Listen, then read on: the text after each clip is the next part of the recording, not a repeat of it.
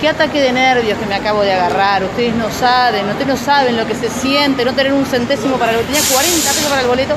Estelita me prestó para el boleto y resulta que me jugué al cajero que hay acá en la terminal, el Ban una basura, una basura, por eso odio la inclusión financiera.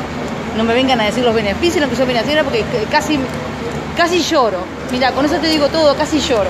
Si no fuera que me encontré con un vecino ahí que él ni sabe ni quién soy, no sabe ni quién soy, me prestó 20 pesos. Mira, acá están, miren, acá están, miren.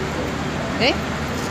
Estelita de Armas me dio para venir porque el red pago ese bendito que tenemos nosotros estaba lleno hasta las, hasta las manos, hasta, hasta allá. Entonces digo, bueno, Estelita de Armas prestó 220 pesos. Pero ¿qué pasa? Acá en la Ciudad Vieja yo te quiero ver a vos. Eh, salí a, recorrer, a buscar cajero en la Ciudad Vieja. Entonces está, me tomé un taxi para la terminal, que eran 60 pesos el taxi.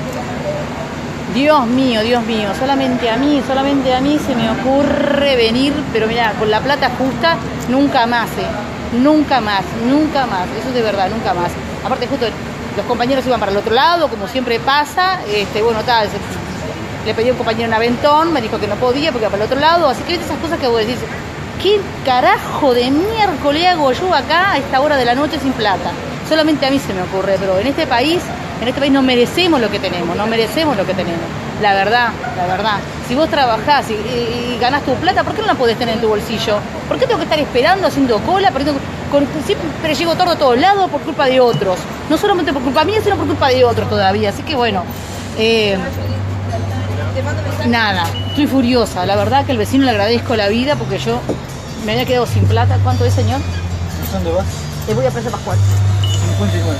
59. Quédese con el peso que todavía lo debo, no hay problema. No hay... Me, lo, me lo dio el señor, qué amable. Ya lo voy entregando. Ya le debo menos al hombre, 19. El vecino acá, muchísimas gracias. Muchísimas gracias. La verdad, la verdad, todavía... Después apareció ella, después, mucho después. me invitaba con el boleto, pero después, pero casi lloro, te juro. Mirá, viste esa cosa que vos decís, ¿qué miércoles hago? Dale. No, no, no, no, acá estoy sentada, no, quiero ni pensar más, porque no vale la pena, pero si nosotros no le ponemos ganas a las cosas, la verdad, la verdad, ¿cuánta gente se juega al cajero ese que está ahí? No seas malo, todavía que yo iba a cobrar un dólar y pico, no tenía ni plata, ni plata tenía ese cajero.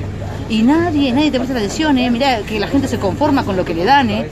Una tremenda intervención de Richard Reed, todo bárbaro, el compañero, fabuloso, el amigo. Pero no, no, no, no, no, no pueden dejar, no, mejor me callo.